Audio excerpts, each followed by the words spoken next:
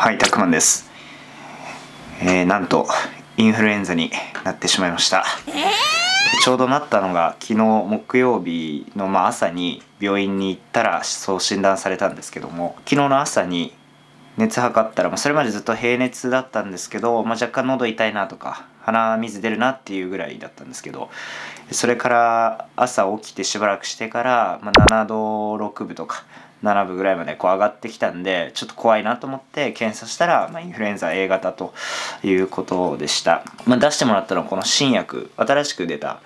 えー塩野義製薬さんが開発したこのゾフルーザというですね、えーいかにも強そうな一回この2錠飲むともう終わりなんですよ。もうそれだけでずっと効くっていうことで、まあ、これ飲んで平熱まで下がりました。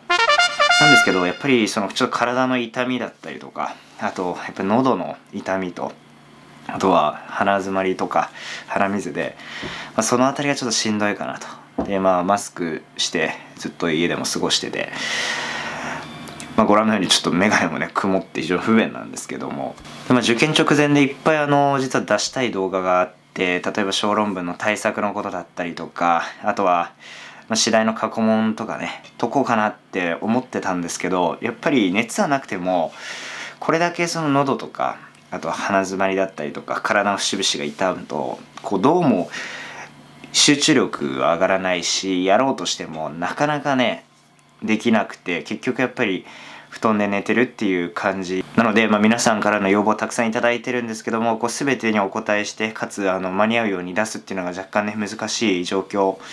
かもしれません。本当にそのあたりはご了承ください。申し訳ないです。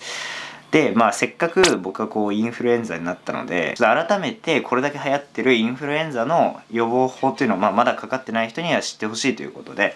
お伝えしようと思います。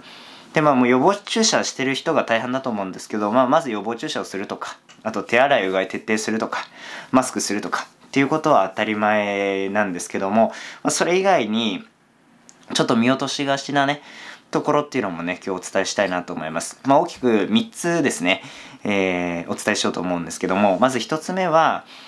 極力もう人混みの中には行かないと。人がたくさんいるところには行かないっていうことが非常に重要になってくると思います。まあ、誰がもう持ってるかわからないですし、まあそれだけ人とね接触するとかかる確率っていうのは一気に上がりますから、まあ、できる限り人がいるところには行かない。それから2つ目、えー乾燥を避けるということですね。やっぱり乾燥してると喉は乾燥して、それだけインフルエンザのウイルスにかかりやすいっていう状況ができてしまうので、やっぱり加湿器をするとかですね。あとまあ塾の自習室とかやっぱ暖房ガンガンに効いてると乾燥してしまうので、まあ、予防のためもそうだし、その喉を乾燥させないっていうためにもやっぱりしっかりマスクをする。それからこまめに水分。特に紅茶とか緑茶を飲んでいると非常にいいと言われてますので、まあ、喉を潤しておくっていうのも非常に大事です。そして3つ目が、あの接触感染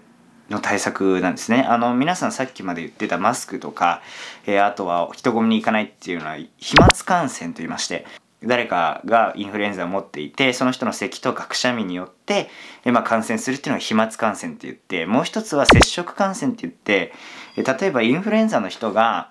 えー何か物を触りましたよと。そうすると、まあ、そこにこう菌がつきますよと。で菌がついたのは例えばじゃあこのペン貸してって言って別の人が使いました。で使ったらその菌がですね自分の手につきますね。で手についた菌を例えば顔を触っちゃったりとかあと鼻をちょっと触っちゃったり口に持っていったりそのまま食べ物を食べたりするとこれそのまま菌が入っていってインフルエンザに感染するっていうこれが非常に多いんですね。なので、まあ、皆さん外に出た時はまず基本的には何かを触らないということです。え電車のつり革だったり触らないようにするということでもし触ったとしても自分の顔とかそのまま食べ物は絶対触らない。で帰ったらできるだけ、まあ、早めにお風呂入って全身の菌を落とすだとか、まあ、手はもちろんですけれども、えー顔周りとか、まあ、なるべくこう出ているところっていうのは菌を早く落とすように意識してみてください。本当にね今回痛感したのはインフルエンザになったら、まあ、どんだけ予防接種、まあ、僕もしてたんですけどしてて軽症でもなかなかしんどいです。で、この状態で受験で100%パフォーマンスできるかって言われたらできないというふうに思いますので、まず体調管理改めて見直す。たくさん食べて栄養をとる。それからしっかり寝るっていうことだけは心がけてですね、万全の体制で試験本番に臨んでほしいなというふうに思います。まあ、説得力ゼロですけどもね。